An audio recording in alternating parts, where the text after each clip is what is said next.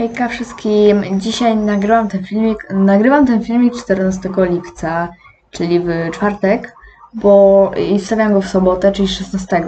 Tak. Bo wtedy będę w górach i nie będę miała co nagrać, więc przyjmijcie to jako daily, proszę was i Zuru przepraszam i mam nadzieję, że to przyjmiecie i bo nie będę siedziała na w górach, więc po prostu muszę taki filmik zrobić. I zapraszam do filmiku, który jutro wstawię, plus który wczoraj wstawiałam, ale w czasie jako sobota. Bo wiecie, ja to nagrałam 14, czyli chodzi, że filmik, który wstawiłam 15 lipca, czyli jutro, który wstawię, i na filmik, który wstawię dzień po sobocie, czyli w niedzielę, czyli 17 lipca. Więc pa! Życzę Wam miłego dnia i pozdrawiam, pa!